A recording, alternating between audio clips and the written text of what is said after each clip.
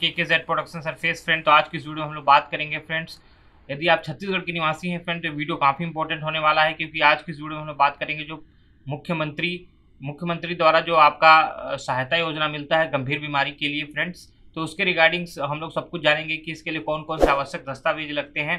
तो आज का वीडियो जो है हमारा पूरी तरीके से इसी के रिगार्डिंग होगा कि जो गंभीर बीमारी होता है, उसके लिए जो चिकित्सा सहायता योजना होता है, वो आपको ऑनलाइन अप्लाई कैसे करना है फ्रेंड्स और इस वीडियो में ऑनलाइन अप्लाई के लिए तो नहीं बताऊँगा, लेकिन इसमें कौन कौन सी चीज़ें आपकी आवश्यक दस्तावेज़ लगेंगे? ए टू जेड हम लोग पूरी तरीके से बात करेंगे फ्रेंड और ये जो वीडियो होगा, वो आपके असंगठित मजदूर या फिर असंगठित कर्मकार मंडल वाले जो मजदूर होते हैं, उनके लिए जो खेतीर मजदूर होते हैं, उनके लिए ये वीडियोस होने वाला है फ्रेंड्स तो चलिए फ्रेंड इस वीडियो को स्टार्ट करते हैं.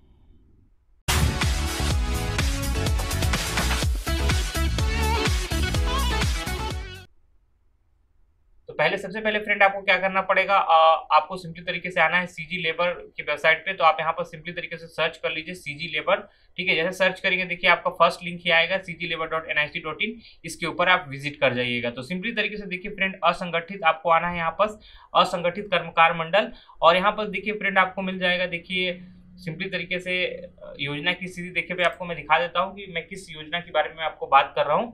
तो यहाँ पर देखिए फ्रेंड, योजना का नाम चुने आपको यहाँ दिखाई दे रहा होगा।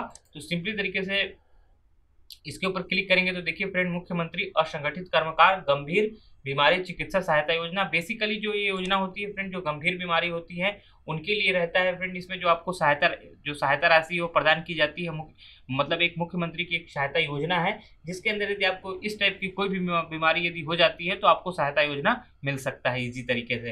तो इसके बारे में हम लोग ए टू जेड जानेंगे फ्रेंड्स क्योंकि ऑनलाइन तो मैं बता नहीं रहा हूँ कि भी, मैं इसके लिए भी नेक्स्ट वीडियो में बताऊँगा कि कैसे आपको ऑनलाइन अप्लाई करना है असंगठित मजदूर के लिए। आज हम लोग सिर्फ़ इसके आवश्यक दस्तावेज़ के बारे में देखेंगे।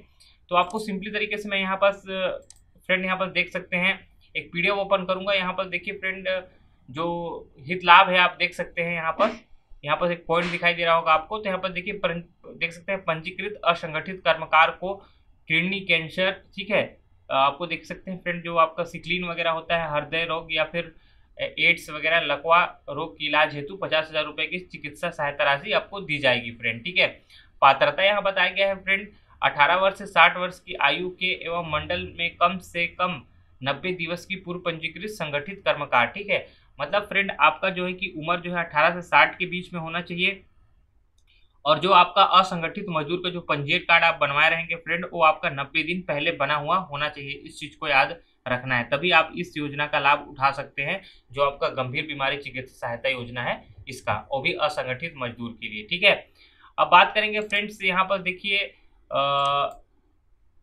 जो यहाँ पर आवश्यक दस्तावेज़ लगने वाले हैं, इसके बारे में मैं बात बता, बात करूँगा फ्रेंड यहाँ पर देखिए, जो पहला डॉक्यूमेंट होगा फ्रेंड हितग्राही का पंजीयन कार्ड, ठीक है? तो हितग्राही का फ्रेंड यहाँ पर जो है कि पंजीयन कार्ड लगने वाला है, ठीक है? मतलब कि जो आपका असंगठित मजदूर का जो पंजीयन कार्ड बने रहेगा, हितग्राही का, वो लगेगा फ्रेंड याद रखिएगा। तो आपको फ्रेंड इसका जो है कि सिंपली तरीके से ये डॉक्यूमेंट लगेगा, क्योंकि इस डॉक्यूमेंट को आपको अपलोड करना पड़ेगा पीडीएफ फ़ाइल के अंदर एक एम में, ठीक है? तो यहाँ पर जो है कि आपको असंगठित मजदूर का जो पंजीयन कार्ड है, वो लगेगा फ़र्स्ट डॉक्यूमेंट दूसरा फ्रेंड पासबुक बैंक पासबुक की कॉपी तो फ्रेंड आपको जो है कि फ्रेश बैंक पासबुक की कॉपी को आपको अपने पास रखना है फ्रेंड क्योंकि यदि बहुत सारे जो हितग्राही होते हैं, उनका पासबुक मतलब अच्छे तरीके से दिखाई नहीं देता तो आप नया एक पासबुक प्रिंट कराएँगे, जिसपे कि आपका नाम, आपका अकाउंट नंबर आपका आईएफसी कोड आपका सिग्नेचर आपका फ़ोटो सब कुछ दिखाई दे वहाँ पर बैंक का सील सिग्नेचर वगैरह, सब कुछ. तो आपको यहाँ पर बैंक पासबुक होना चाहिए आपके पास. देखिए फ्रेंड आयु प्रमाण पत्र होना चाहिए। आयु प्रमाण पत्र के लिए आप अपनी अंकसूची देख सकते हैं वोटर कार्ड दे सकते हैं, जन्म प्रमाण पत्र या आधार कार्ड इनमें से कोई भी आप दे सकते हैं। बेस्ट डॉक्यूमेंट होता है वोटर आईडी आधार कार्ड या फिर अंकसूची आप दे दें। इसके बाद देखिए फ्रेंड आपका आय प्रमाण पत्र होना चाहिए। आय प्रमाण पत्र फ्रेंड पटवारी, सरपंच या पार्षद के द्वारा जो आय प्रमाण पत्र बनेगा, वो डॉक्यूमेंट आप लगा सकते हैं।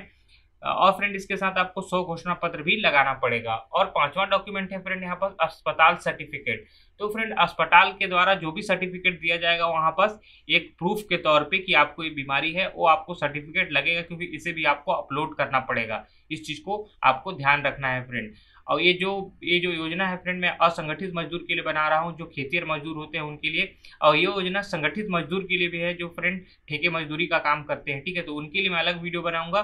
तो फ्रेंड्स आज की इस वीडियो में आ, मैं यहाँ पर आपको बता दिया कि कौन कौन से दस्तावेज़ लगेंगे फ्रेंड्स और इसमें जो सहायता राशि आपको मिलने वाली है वो पचास हज़ार रुपये आपको सहायता राशि मिलेगी फ्रेंड्स। तो आप सिंपली तरीके से आपको यदि इस योजना का लाभ उठाना है फ्रेंड तो ये सब डॉक्यूमेंट आप कलेक्ट कर लें। और मैं इसके बाद नेक्स्ट वीडियोस बनाने वाला हूँ जिसमें कि इसका ऑनलाइन अप्लाई करके आपको बताऊँगा टू जेड प्रोसेस तो फ्रेंड आप सबसे पहले हमारे चैनल को सब्सक्राइब कर ले और साथ में बेल आइकन को भी ज़रूर प्रेस करें फ्रेंड क्योंकि हम अपने चैनल पे इसी टाइप के जो सीजी के रिगार्डिंग या फिर सेंट्रल गवर्नमेंट के स्कीमा के बारे में हम आपको अपडेट कराते रहते हैं फ्रेंड्स ठीक है? तो चलिए फ्रेंड मिलते हैं ऐसे वीडियो के साथ। तब तक के लिए गुड बाय